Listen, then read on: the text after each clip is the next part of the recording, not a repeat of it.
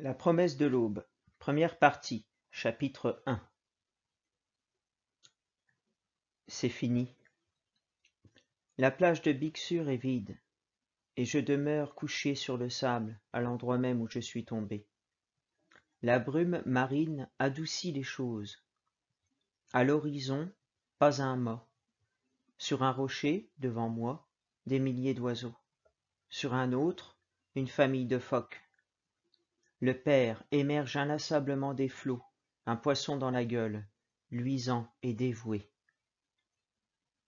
Les hirondelles de mer atterrissent parfois si près que je retiens mon souffle, et que mon vieux besoin s'éveille et remue en moi. Encore un peu, et elles vont se poser sur mon visage, se blottir dans mon cou et dans mes bras, me recouvrir tout entier. À quarante-quatre ans, j'en suis encore arrivé de quelque tendresse essentielle. Il y a si longtemps que je suis étendu sans bouger sur la plage que les pélicans et les cormorans ont fini par former un cercle autour de moi. Et tout à l'heure, un phoque s'est laissé porter par les vagues jusqu'à mes pieds. Il est resté là, un long moment, à me regarder, dressé sur ses nageoires, et puis il est retourné à l'océan. Je lui ai souri, mais il est resté là, grave et un peu triste, comme s'il savait. Ma mère avait fait cinq heures de taxi pour venir me dire adieu à la mobilisation, à Salon de Provence, où j'étais alors sergent instructeur à l'école de l'air. Le taxi était une vieille Renault délabrée. Nous avions détenu, pendant quelque temps, une participation de 50 puis de 25% dans l'exploitation commerciale du véhicule. Il y avait des années, maintenant, que le taxi était devenu propriété exclusive de son ex-associé, le chauffeur Rinaldi. Ma mère, cependant, avait tendance à croire qu'elle possédait toujours quelque droit moral sur le véhicule, et comme Rinaldi était un être doux, timide et impressionnable, elle abusait un peu de sa bonne volonté. C'est ainsi qu'elle s'était fait conduire par lui de Nice à Salon de Provence, trois cents kilomètres, sans payer, bien entendu, et longtemps après la guerre, le cher Rinaldi, grattant sa tête devenue toute grise, se rappelait encore avec une sorte de rancune admirative comment ma mère l'avait mobilisé. Elle est montée dans le taxi, et puis elle m'a dit tout simplement À Salon de Provence, on va dire adieu à mon fils. J'ai essayé de me défendre, ça faisait une course de dix heures, aller-retour. Elle m'a immédiatement traité de mauvais français, et elle a menacé d'appeler la police et de me faire arrêter parce qu'il y avait la mobilisation et que j'essayais de me dérober. Elle était installée dans mon taxi avec tous ses paquets pour vous, des saucissons, des jambons, des pots de, des pots de confiture, et elle me répétait que son fils était un héros, qu'elle voulait l'embrasser encore une fois et que je n'avais pas à discuter. Puis elle a pleuré un peu.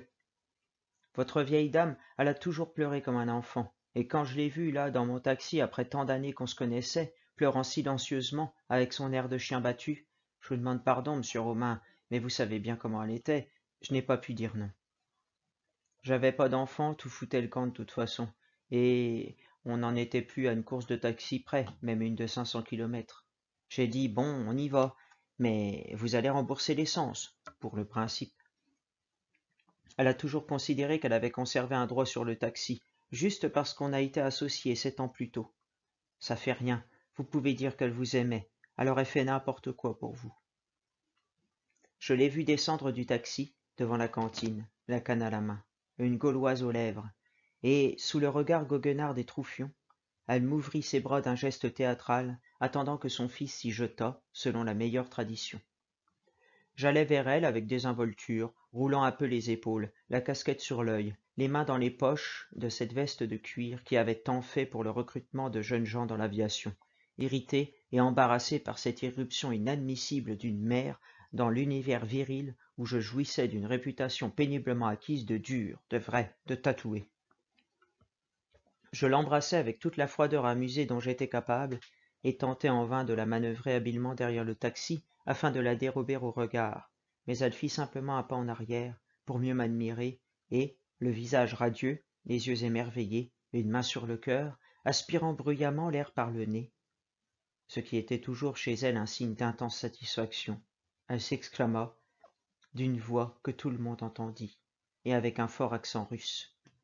Guinemer, tu seras un second Guinemer, Tu verras, ta mère a toujours raison. Je sentis le sang me brûler la figure, j'entendis les rires derrière mon dos, et déjà avec un geste menaçant de la canne vers la soldatesque Hilar, étalée devant le café, elle proclamait, sur le mode inspiré, tu seras un héros, tu seras général, Gabriele D'Annunzio, ambassadeur de France, tous ces voyous ne savent pas qui tu es. Je crois que jamais un fils n'a sa mère autant que moi à ce moment-là.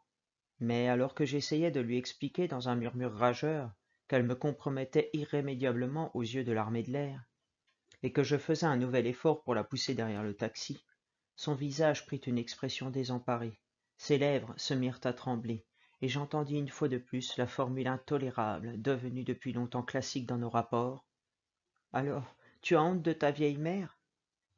D'un seul coup, tous les oripeaux de fausse virilité, de vanité, de dureté dont je m'étais si laborieusement paré tombèrent à mes pieds.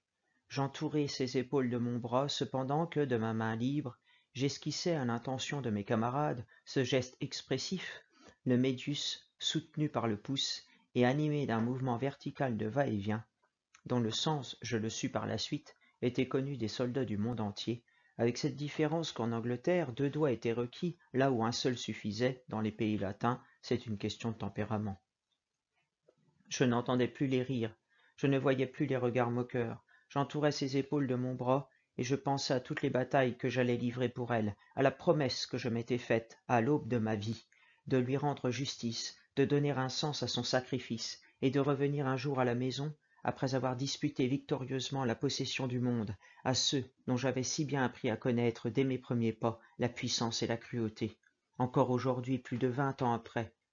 Alors que tout est dit, et que je demeure étendu sur mon rocher de Bixure, au bord de l'océan, et que seuls les phoques font entendre leurs cris dans la grande solitude marine où les baleines passent parfois avec leurs jets d'eau minuscules et dérisoires dans l'immensité, encore aujourd'hui, alors que tout semble vide, je n'ai qu'à lever les yeux pour voir la cohorte ennemie qui se penche sur moi, à la recherche de quelques signes de défaite ou de soumission.